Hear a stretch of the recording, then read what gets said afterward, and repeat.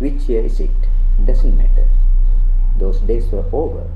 Days where people used to thrive and devastate the mother nature. I am the only living thing left in the world now. I could not sense any breathing around me. Plants, animals, people, wind, sound, none of them exists now. Mankind didn't value the water when it was precious and kind to them. They only wanted owning the pleasure of everything to themselves. They contaminated the pure water, amplified polythene usage, destructed the holy land. When people realized finally what they had, it was too late. I only wish if someone could alter the time to correct the mistakes we have done, to live in a time where water exists and people value it, not abolish it.